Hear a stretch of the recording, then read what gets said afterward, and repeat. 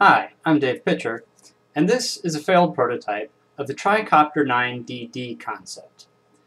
This is a flat version of the puzzle, which, although it is functional, it is barely so, uh, but it does demonstrate the principle of this puzzle. If you're familiar with my Tricopter 9 series, it has nine axes, one at each edge of the puzzle. The jumbling axes are deeper, as in the Tricopter 9DS.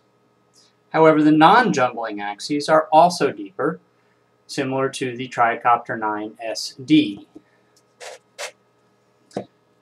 So, non-jumbling axes, deep through the origin of the puzzle, and as you can see, those actually work fairly well, although I'm still being quite cautious when turning this puzzle.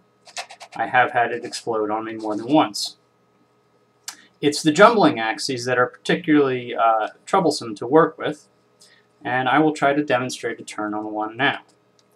So, you need to be careful to keep all the pieces aligned with each other and make sure that nothing is catching on adjacent pieces in order to make a turn on a jumbling axis.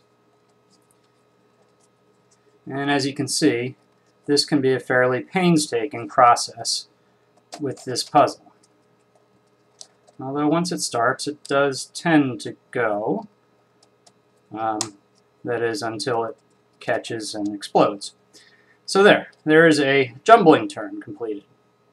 And of course, as with all the other Tricopter 9 puzzles, once you've completed jumbling turn, you can either do more jumbling turns or a non-jumbling turn, like so. And then you can continue making turns on other axes, scrambling the puzzle. So that is a semi-functional prototype of the Tricopter 9 DD concept. Thank you for watching.